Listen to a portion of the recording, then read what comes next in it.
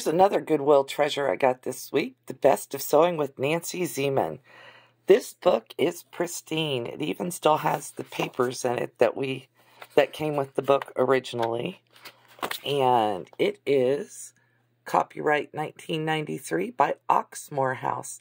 I'm really looking forward to getting into this book. I took a quick glance through it, and there is so much information. I love Nancy Zieman and I'm sorry that she's gone.